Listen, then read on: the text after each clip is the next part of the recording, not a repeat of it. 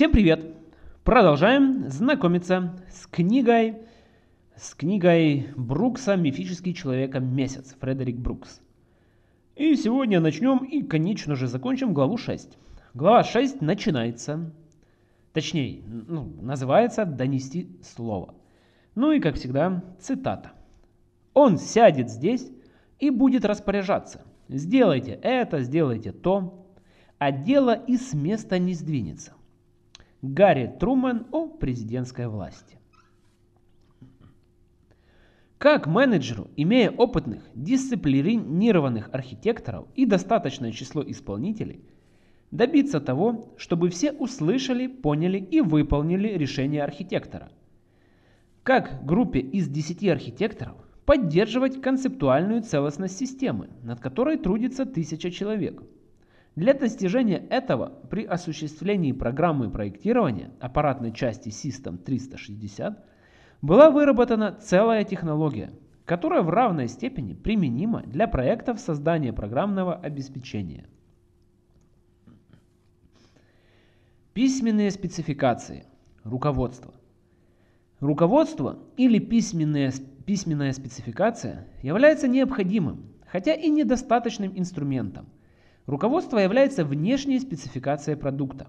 В нем расписаны все подробности того, что видит пользователь, и потому оно является главным продуктом, который создает архитектор. Его подготовка идет кругами, собирая замечания пользователей и разработчиков о недостатках проекта, затрудняющих использование или реализацию. Для удобства разработчиков необходимо квантовать изменения, согласно определенным в графике датам, выпускать очередные версии. Инструкция должна не только описывать все, что видит пользователь, в том числе все интерфейсы, но и воздерживаться от описания того, чего пользователь не видит.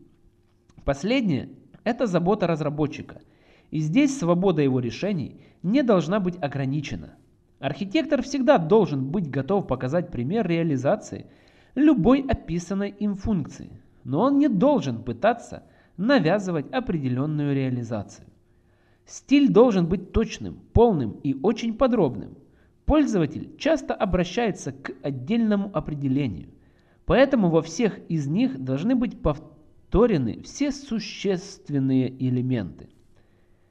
И все они должны быть согласованы друг с другом.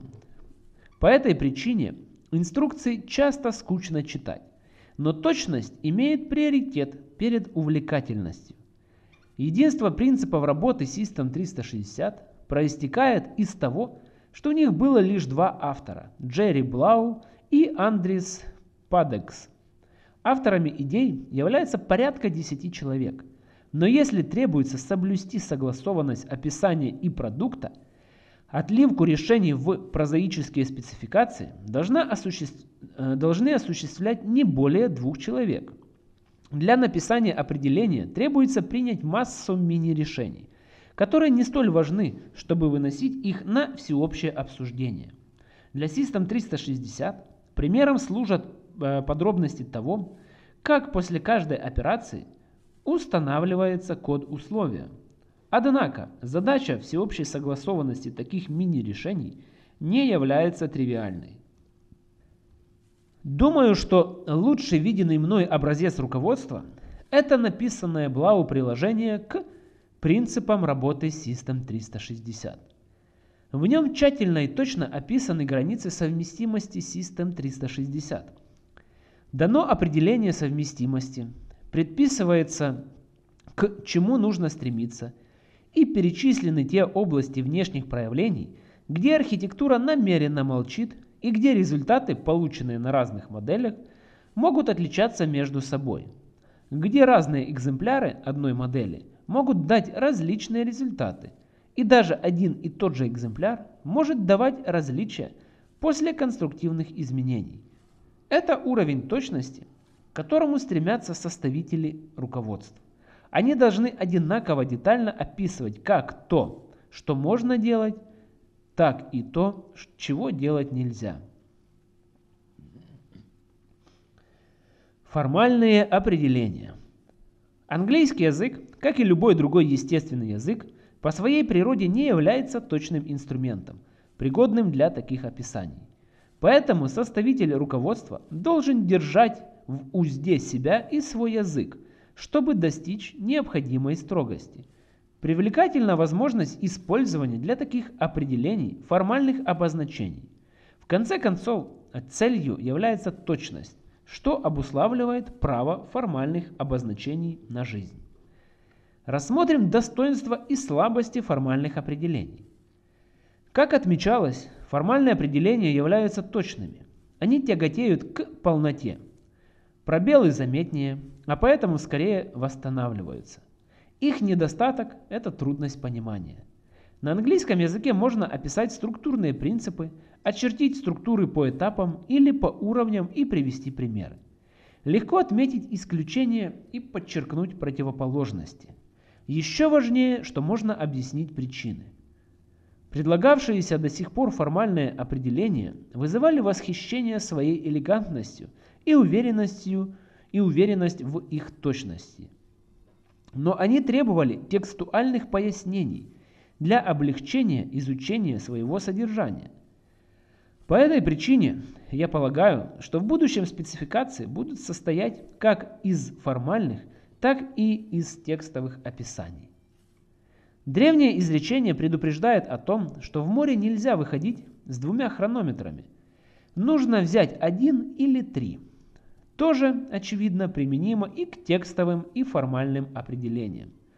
Если имеются оба вида, то один должен быть стандартом, а другой – производным описанием, о чем должно быть прямо указано. Основным стандартом может быть любой из них. Из них. В Algol 68 в качестве стандарта выбрано формальное определение, а текстовые определения являются описательными. В PL на I стандартом является текст, а формальное определение – производным. В System 360 также в качестве стандарта принят текст, а производными являются формальные описания. Есть много средств создания формальных определений. Для определения языков часто используется формула Бекуса-Наура, по которой есть богатая литература. В формальном описании PL на I используется новое обозначение абстрактного синтаксиса, надлежащим образом описанные. APL Иверсона был использован для описания машин, в частности IBM 7090 и System 360. Bell и Newell предложили новые аннотации для описания как конфигураций, так и машин и проиллюстрировали их на нескольких машинах. Почти все формальные определения оказались пригодными для воплощения или описания аппаратных средств и программных систем, внешние спецификации которых они регламентируют. Синтаксис можно описать без этого, но семантика обычно определяется с помощью программы – выполняющей определяемую операцию. Конечно, это является реализацией и в этом качестве переопределяет архитектуру. Поэтому нужно указать, что формальное определение относится только к внешним спецификациям и объяснить, что ими является. Не только формальное определение является реализацией, но и реализация может служить формальным определением. Когда были созданы первые совместимые компьютеры, использовалась именно эта технология. Новая машина должна была соответствовать имеющейся. Руководство туманно в некоторых местах. Задайте вопрос машине. Создавалась тестовая программа для выяснения поведения, и новая машина строилась так, чтобы достигалось соответствие. Программная модель аппаратной или программной системы может использоваться точно таким же образом. Это реализация. Она работает.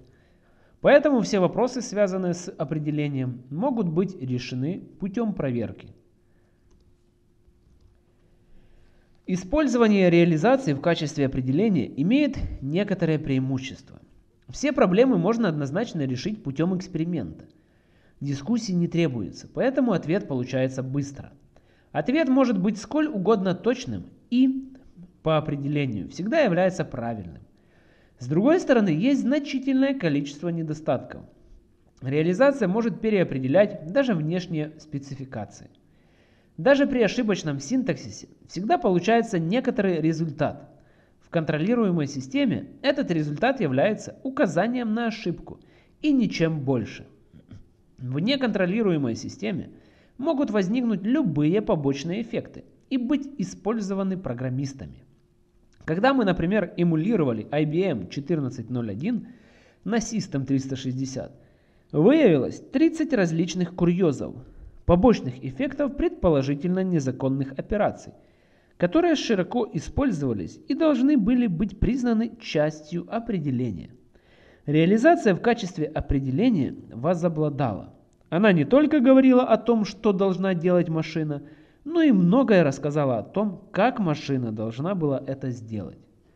Кроме того, на проницательные вопросы реализация иногда дает неожиданные ответы, и определение де-факто часто оказывается неизящным в этих особых случаях, потому что над ними никогда не задумывались. Копирование этой неэлегантности в другой реализации часто оказывается замедляющим или дорогостоящим.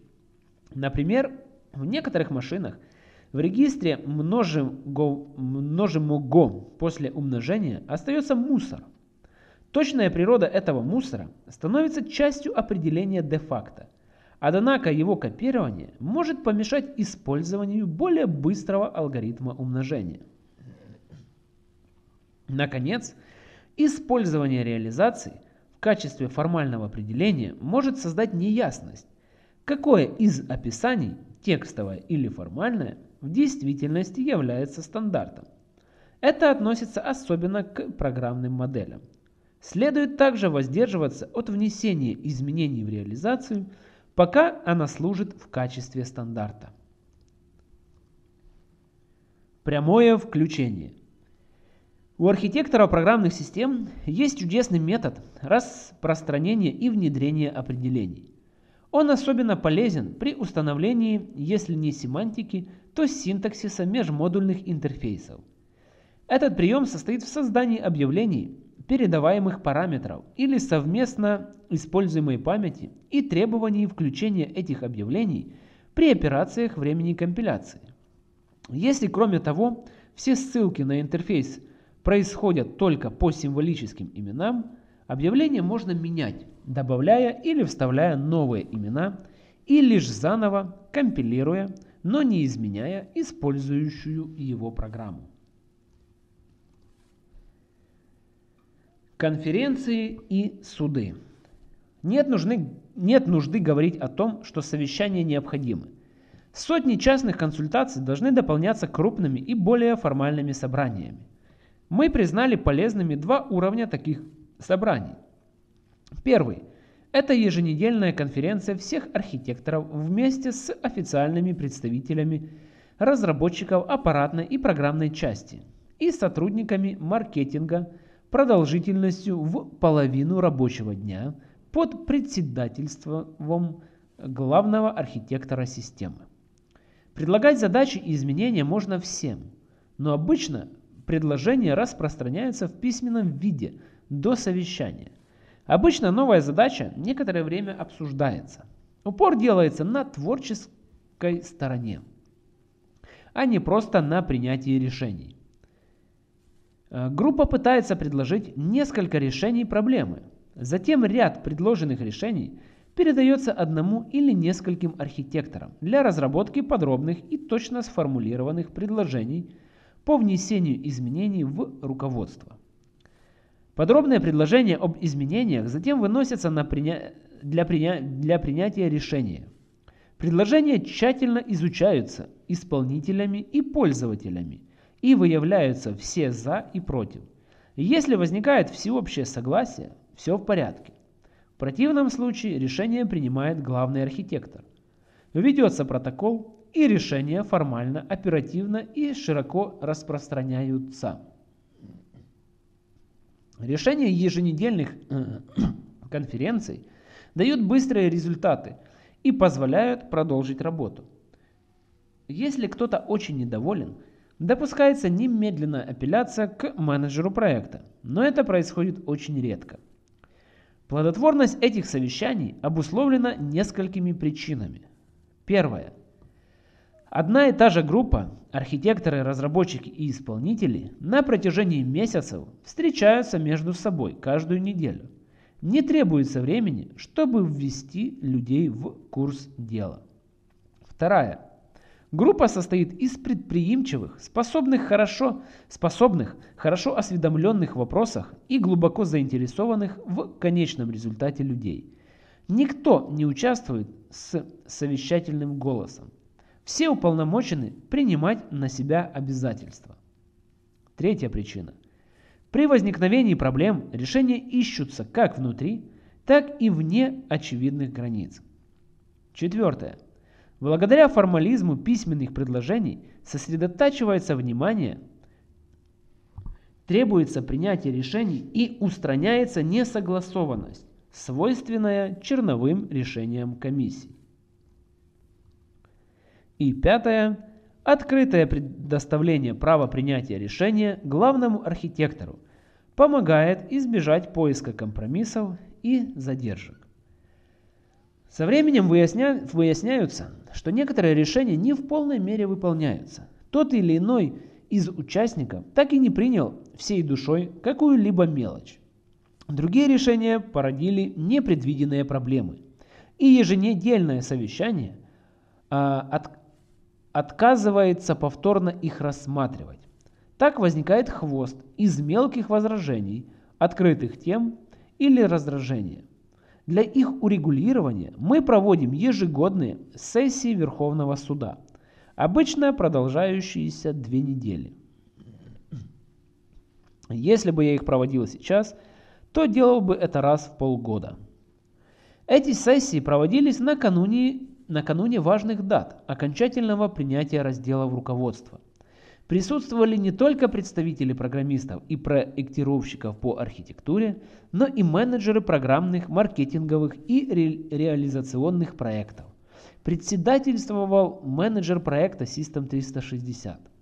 Повестка работы включала обычно около 200 пунктов, в основном мелких, Э, перечисленных в, э, раз, и в развешанных по комнате списках. Заслушивались все стороны и принимались решения. Благодаря чуду компьютерной верстки, каждое утро каждый участник обнаруживал на своем месте исправленное руководство, в которое были внесены решения, принятые накануне. Эти осенние фестивали особенно полезны не только для пересмотра решений, но и для того, чтобы они были приняты.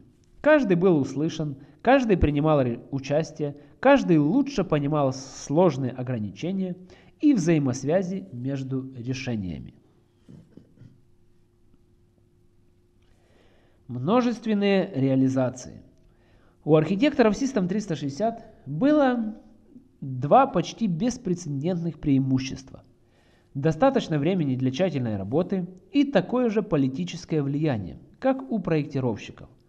Наличие времени было обеспечено графиком по новой технологии. Политическое равенство происходило благодаря одновременному созданию нескольких реализаций. Необходимость их строгой совместимости лучше всего способствовала исполнению спецификаций. В большинстве компьютерных проектов Наступает день, когда оказывается, что машина и руководство по ее использованию не согласуются. В последующем конфликте обычно проигрывает руководство, поскольку его можно изменить значительно быстрее и меньшей ценой, чем машину. Однако это не так, если существует несколько реализаций. Тогда временные и финансовые издержки, связанные с исправлением машины с ошибками – могут быть ниже, чем связанные с переделкой машин, верно следовавших руководству. Это замечание можно с пользой применить при определении языка программирования. Можно с уверенностью утверждать, что рано или поздно потребуется создать несколько интерпретаторов или компиляторов для разных целей. Определение будет яснее, а дисциплина более крепкой – если изначально строится как минимум две реализации. Журнал регистрации телефонных разговоров. Какими бы точными не были спецификации, По ходу проектирования возникает несчетное множество вопросов касательно интерпретации архитектуры. Очевидно, многие из этих вопросов требуют более ясного изложения в тексте. Прочие просто отражают неправильное понимание. Важно, чтобы озадаченные исполнители звонили ответственным архитекторам и задавали свои вопросы, не продолжали работу на основании догадок. Важно также понимать, что ответы на такие вопросы являются авторитетными заявлениями архитекторов и должны доводиться до всех. Полезным механизмом является введение архитекторам журнала регистрации телефонных разговоров, в который им заносятся все вопросы и ответы. Каждую неделю журналы нескольких архитекторов объединяются воедино, размножаются и распределяются среди пользователей и исполнителей. Несмотря на свою неформальность, такой механизм является и быстрым, и понятным. Тестирование продукта. Лучший друг менеджера проекта – его постоянный противник. Независимая организация, тестирующая продукт. Группа проверяет соответствие машин и продуктов спецификациям и выпускает и, и выступает пособником дьявола, указывая на все замеченные дефекты и несоответствия. Каждой организации – ведущей разработки, нужна такая независимая группа технического аудита, которая должна быть неподкупна. Последний анализ в качестве независимого аудитора осуществляет покупатель. В безжалостном свете практического применения станет виден каждый грех. Группа тестирования продукта как раз заменяет покупателя, настроенного на поиск ошибок – Время от времени тщательная проверка продукта обнаруживает места, где не услышали указания, где проектные решения э, поняли неправильно или выполнили неточно. Поэтому такая группа проверяющих является необходимым звеном в цепочке, по которой доходит слово проектировщика. Звеном, которое должно начать действовать рано и одновременно с проектированием. Ну, Глава 6 закончилась. Скажу себе так, так, так себе эта глава, ну, ну ничего.